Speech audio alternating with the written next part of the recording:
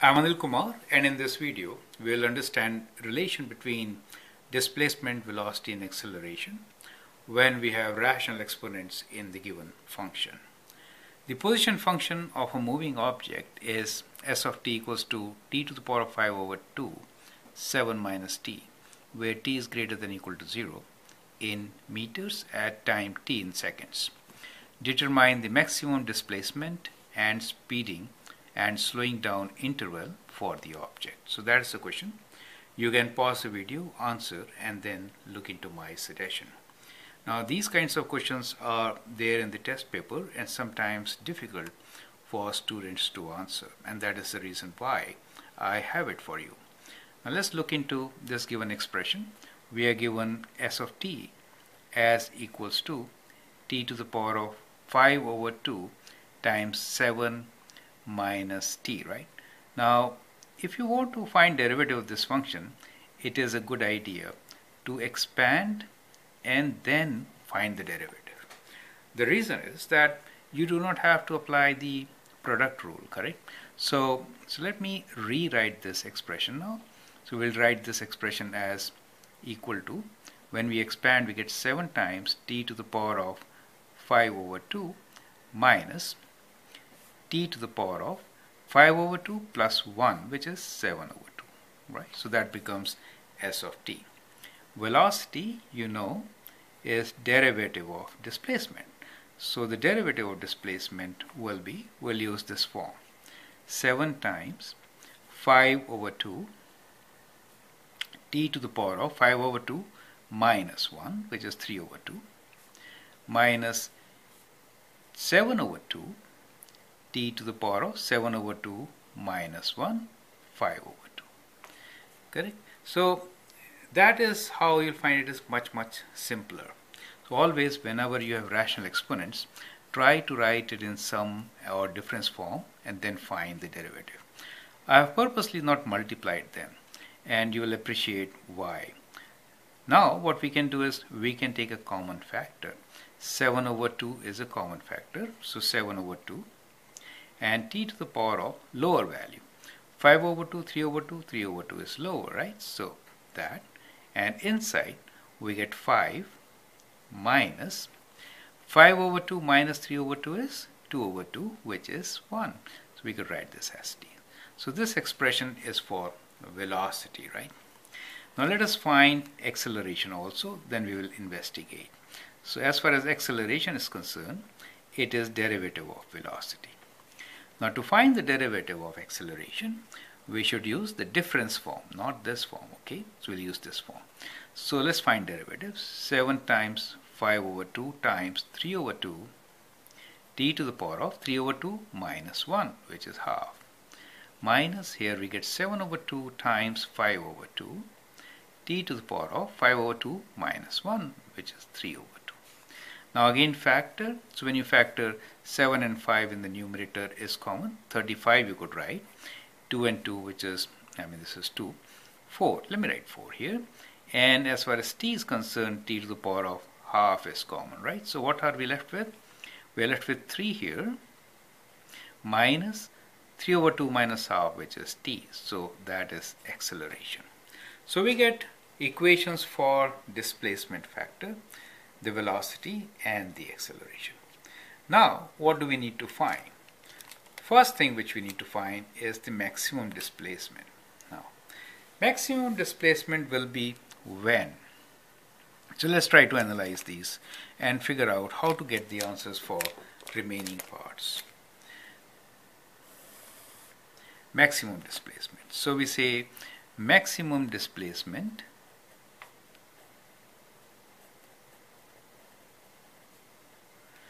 So that means we are looking for a turning point. And at turning point, what will happen? Velocity is going to be zero, right? So that is how we can get maximum displacement. Here we already know as far as the displacement function is concerned, it is 0 at 0 and it is 0 at 7. So we are expecting an answer between 0 and 7. Do you see that? Because displacement is 0 for t equals to 0 or t equals to 7. So maximum is between these two limits. Let's find where. So for that, we can equate velocity to 0 and then calculate, right? So function which helps us to find this answer is this factor. So which is, we'll say 7 over 2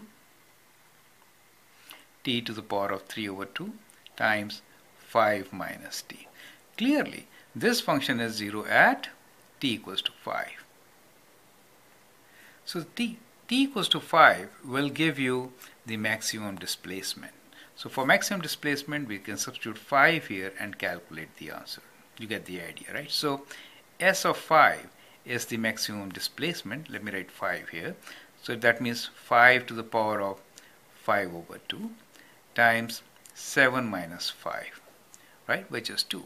So it is 2 times 5 to the power of 5 over 2 and the units are meters. You can always use calculator and find this answer, correct? Okay, so this is the first part. Then we have to figure out when is the object speeding and when is it slowing down. Now to find speeding and slowing down intervals, what we need to really do is to figure out when is velocity positive or when is acceleration positive or negative, right? So let's analyze these, these graphs. So what we'll do is we'll take a timeline here. So let us say the timeline starts from t equals to 0. So timeline starts from t equals to 0. Some critical points here are velocity we know is 0 at 5. So we'll take 5 here. And acceleration is 0 at 3. So we'll take 3 here. Okay.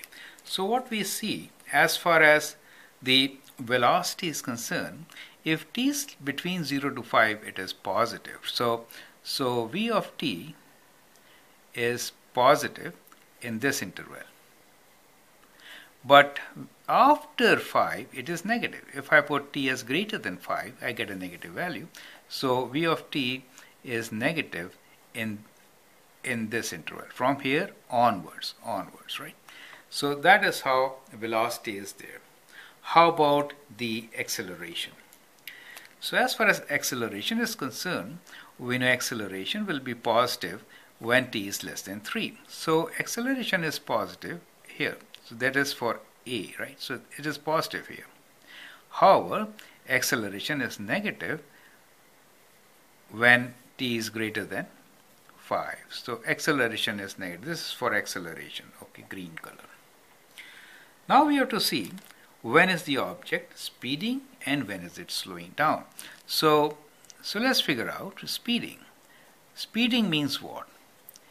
Speeding means product of velocity and acceleration is positive. That means both are negative or both are positive, right? So let us see. So in the first half, from 0 to 3, we see both are positive, right? So, so it is speeding in this interval from 0 to 3, right? So it is speeding. Now after that, acceleration becomes negative, but velocity is positive. So in this portion, it is slowing down. So let me write that portion for slowing down. So we'll have this as slowing down. We say slowing down when product of velocity and acceleration is less than 0 or negative. So this is slowing down. After that, both are negative, right? So both are negative means they are speeding. Do you see that? So for speeding, we get time intervals from 0 to 3 and then after 5 and then from 5 onwards, right? It is speeding. So as far as slowing down is concerned, it is slowing down between 3 to 5, right? So between this interval, it is slowing down. Reason is that sign of acceleration and velocity is opposite in this portion. So their product will be negative, that is less than 0. So that is how you should be answering this kind of question. Now it's very important to analyze this particular equation. You can actually find so many things from here. When is object going away or increasing? When is displacement increasing? When is displacement decreasing? So we can find from here that it is positive most of the time. It is 0 at 0 and at 7 right? And also you can see that it is maximum when velocity is 0 which is at t equals to 5 exact value will be 2 times fifth root of 5 5 square 25 fifth root of 25 which you can find from the calculator right? So likewise we can answer such questions. I hope the steps are very clear. Remember whenever you have rational exponents i prefer you to expand and then find the derivative as we did. Otherwise at times second derivative may be very difficult to figure out correct? So that is how you should be solving such questions. Thank you and all the best